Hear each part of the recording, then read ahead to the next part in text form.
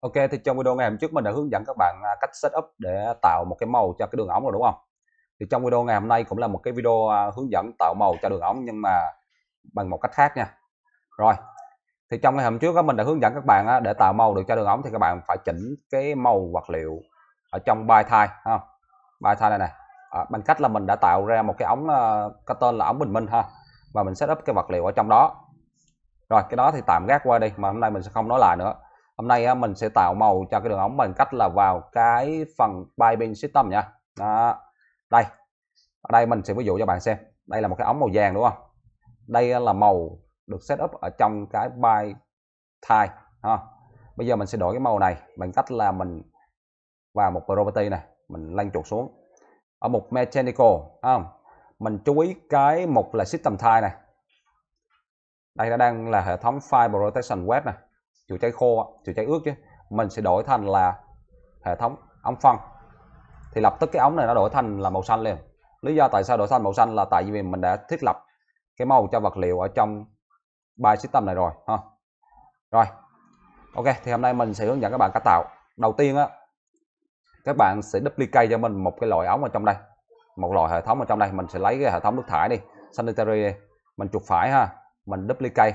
Mình đặt là mình sẽ đổi tên nó lại thành là hệ thống ống à, thoát sinh hoạt ha. Rồi ok chưa? Sau khi uh, các bạn tạo được cái hệ thống này rồi các bạn click vào đây. Các bạn đổi màu cho mình là ở một graphic nha. Cái một graphic này là màu gì? Có nghĩa cái màu trong này nó sẽ quy định cho các bạn là cái đường viền khi mà các bạn không ở chế độ đẹp mà các bạn ở chế độ wireframe á. À, có nghĩa là chỉ thấy cái đường viền thôi á, thì cái cái màu sắc đây nó sẽ quy định cho cái đường viền đó thì ở đây mình sẽ chọn màu đỏ nha.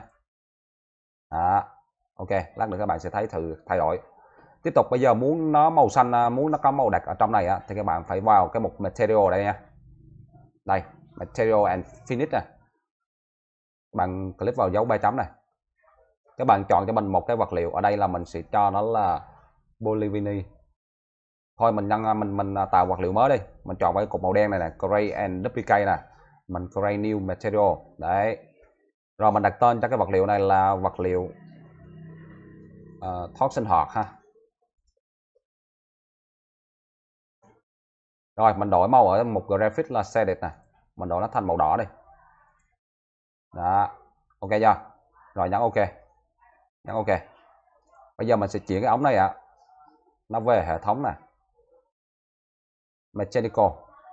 System type mình sẽ chuyển về hệ thống mà mình vừa tạo đó là hệ thống sinh hoạt ha.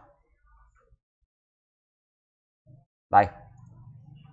Thì lập tức nó ra màu đỏ lên thấy chưa? Ok.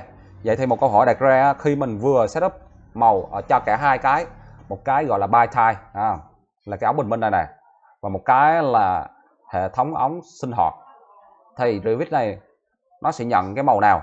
Thì đây là kết quả các bạn cũng đã có câu trả lời rồi. Nó sẽ nhận cái màu của hệ thống nha của piping system nha. Ok vậy là trong video ngày hôm nay mình đã hướng dẫn các bạn cách ờ, uh, setup màu cho ống bằng cách là thâm nhập vào Bybin system nha. Tạo màu vật liệu ở trong Bybin system. Rồi hẹn gặp lại các bạn trong video tiếp theo của mình. Nhớ nhấn đăng ký kênh và nhấn chuông để mà theo dõi những video mới từ kênh mình nha. Bye bye.